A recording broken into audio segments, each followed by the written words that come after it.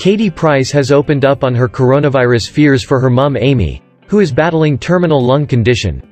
She said her mother, 64, would literally die if she caught the virus, which affects patients' breathing. Amy was diagnosed with idiopathic pulmonary fibrosis in 2017, and has been told it is terminal, and she does not know how long she has but thinks it could be two or three years. Her condition causes lung scarring and makes it harder to breathe, and there is no known cure. Katie, 41, told Closer saw my mum two weeks ago. And we spoke on the phone while stood outside her house. I've got to keep away because she would literally die if she got it coronavirus.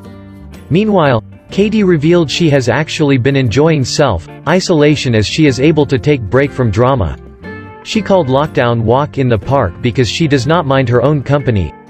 Also, it's given me break from all the drama and the bulls asterisk asterisk t that happens in my life.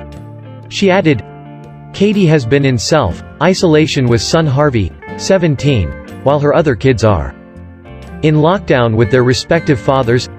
Katie also has Junior, 14, and Princess, 12, with her first husband, Peter Andre, as well as Jet, 6, and Bunny, 5, with Kieran Hayler, Katie has taken the decision not to spend time with most of her brood to protect Harvey, who could die if he were to contract deadly COVID-19. Harvey is one of those who are at high risk of dying if they get it, so haven't been able to see my other kids, she told New Magazine.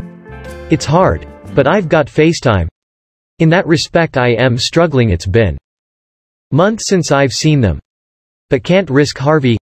Harvey is registered blind, lives with Prader-Willi syndrome and is on the autistic spectrum.